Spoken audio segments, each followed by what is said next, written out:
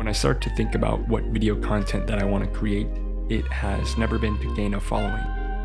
I want to create content to inspire other creatives to do the very thing that I find myself doing.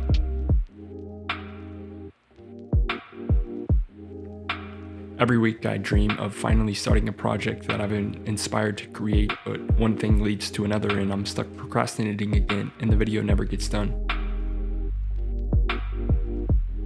Here I am left with a vault of what feels like the most inspired and creative ideas.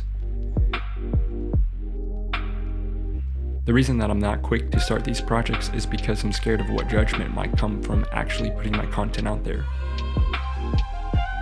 In the past, my work has never been received negatively. I think I just expected better results faster, and that's just my insecurities talking. This is my commitment to making an effort to drown out my insecurities and put my content out there for the world to see. Maybe only one person truly grasps what I'm trying to convey to the world, but that's okay.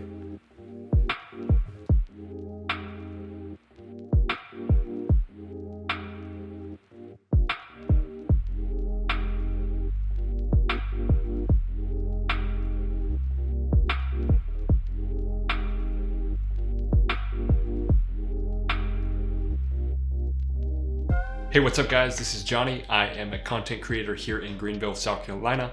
Uh, I love photography and I love filmmaking, and this is just a creative outlet for me to do things creatively that I can't do with the client work. Uh, if this is something that inspires you, I'd love for you to stick around on this creative process and creative journey that I'm on. Uh, don't forget to hit that subscribe button, and I'll see you next time.